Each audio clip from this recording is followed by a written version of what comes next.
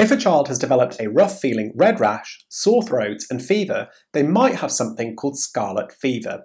And in this video, we'll cover what it is, who gets it, symptoms, diagnosis, as well as treatment. So what causes scarlet fever? Well, scarlet fever is caused by a tiny germ or bacteria called Streptococcus pyogenes. The germ is sometimes called group A strep. This germ causes quite a few illnesses, including skin infections, chest infections, and infections of the heart. Sometimes the bacteria only cause a sore throat, without causing the rash of scarlet fever. This is often just called a strep throat or simple tonsillitis. But in scarlet fever, the Streptococcus bacterium releases toxins that spread through the body. These toxins cause the rash, and if it's not treated, it can cause problems in the kidneys and heart even years later, which we'll cover more in the complications section of this video. So now we know that it's caused by a group A strep infection, well who does it typically affect? Well scarlet fever is most common in children aged less than 10 years, with 4-year-olds most likely to catch it. In fact, 9 out of 10 cases in the UK are in children under 10 years of age. Although adults can get scarlet fever, it's very unusual, but the symptoms and treatment are the same as for children. Now, scarlet fever used to be very common in the 1800s and early 1900s because of overcrowding and poor living conditions. In those days, it was actually the leading cause of death in children, but it got much rarer as general health measures improved. There have been some recent outbreaks in the UK, usually in schools, but antibiotics can now treat scarlet fever very effectively. So what are the symptoms of scarlet fever? Well, there are several key symptoms that you should be aware of. These include a high temperature or fever, a sore throat. A classical finding in scarlet fever is redness of the tongue with tiny white spots. This makes it look like a strawberry, hence the name strawberry tongue, which is pretty typical of scarlet fever, and you're seeing some examples of this on screen here. Now, after a couple of days, the tongue can also swell and look a little bit bigger than usual. Some people call this a beef tongue, you're seeing an example of this on screen here, and hopefully you can appreciate that the tongue looks a little larger than normal. You may also notice a rough feeling rash on the chest, tummy and cheeks. It feels a little bit like sandpaper and it usually appears 12 to 48 hours after infection. If the child has got white skin then the rash can look red, but this may not be the case in individuals with darker skin. By this stage, the combination of a sore throat, a rough feeling rash, and a red tongue makes the diagnosis of scarlet fever quite obvious to doctors. If it's left untreated, the rash and the sore throat will fade over about 10 days, but the skin can sometimes peel, as you get in sunburn, which you can see in this photograph here. So now we know what it looks like, well, how is scarlet fever diagnosed? Well, in general, the diagnosis can be made on the clinical picture. So the child with the high temperature or fever, the sore throat, the red tongue, and the rough feeling red rash on their chest and tummy would point towards a scarlet fever diagnosis, and tests are typically not necessary. Now, if there is any doubt as to the diagnosis, the doctor can take a throat swab. This uses something that looks like a long cotton bud, however, the results will take a few days to come back, so if the scarlet fever is suspected, it's usually best to start antibiotic treatment first. There's also a blood test which can detect the scarlet fever germ, which is the anti-streptolysin titer test, or ASO for short, but the blood test is only positive from about one week and one month after the infection, so it won't tell you if someone has scarlet fever right now, only if they've had it in the past.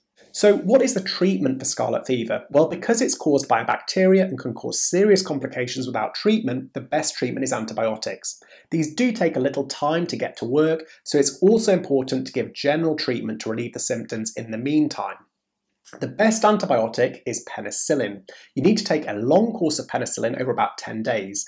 This is longer than is required for a simple throat or ear infection, and it does require a lot of perseverance and organisation to complete the course, and you should complete the full 10 day course. The dose will be worked out according to the age and weight of the child. Now, if the child is allergic to penicillin, then other antibiotics can be considered, such as erythromycin or clarithromycin, and these can be used instead, but again, this will depend on local guidelines. Other things to think about are general treatment of the fever that the child might have.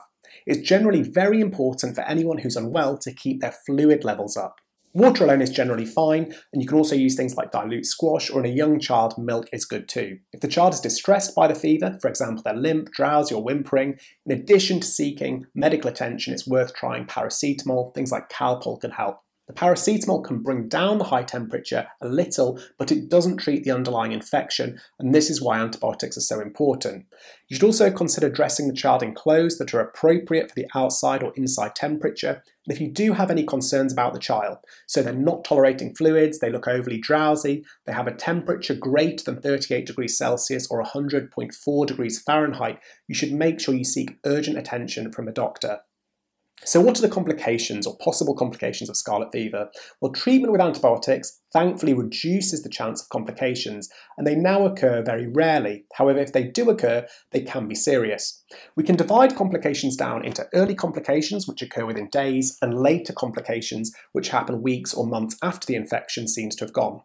Early complications include ear infection, throat infection, and you can get a collection of pus in the throat, which would be an abscess, sinus infection, pneumonia, which is a bad infection of the lungs, or meningitis or sometimes brain abscesses, but again, I'd like to point out that these are rare.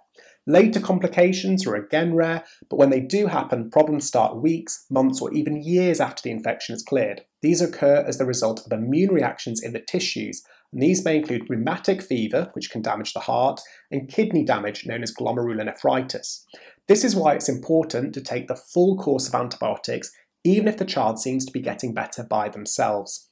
Now, in the past, scarlet fever used to be a very serious condition. However, fortunately, nowadays, for most cases, scarlet fever is a mild, self limiting illness, and most children will recover fully within a week or so, even without treatment. Some people ask, is scarlet fever contagious? And the simple answer is yes. Coughs or sneezes and breathing out the germs can pass it on to others. It can also be passed on by close contact or by sharing towels, baths, clothes, or bed linen with an infected child. Typically, it takes two to four days to develop symptoms after being infected, and because it is contagious and can be spread to other people, you should keep children with scarlet fever off school and away from others for 24 hours after starting antibiotics. Once a person has had scarlet fever, they're very unlikely to get it again, this is because they become immune to the bacteria. However, it is possible to have repeated attacks since there are different types of streptococcal bacteria which can cause the infection. Finally, what about if you're pregnant? Well, thankfully, the reassuring news is that there is no clear evidence that catching scarlet fever when pregnant will put your baby at risk. But if you've got any concerns, please do speak to your doctor. As ever, I hope you enjoyed the video and you learned something new. If you did, please remember to like it, leave me a comment if you've got any thoughts or you'd like to share some information about scarlet fever, perhaps your own personal experience with this, and please do subscribe to the channel for weekly medical education videos if you've not done so already. Please also check out the references and resources that I used to make this video, which can be found in the description box. There's lots more useful evidence-based information contained within these links. Finally, I do have to stress that this has been designed as an educational video, not a clinical advice video, and for legal reasons, please read the full disclaimer in the description box of this video. If you do have any concerns about your child, then please just bring them to see their doctor. As ever, thanks for watching, and until next time, bye.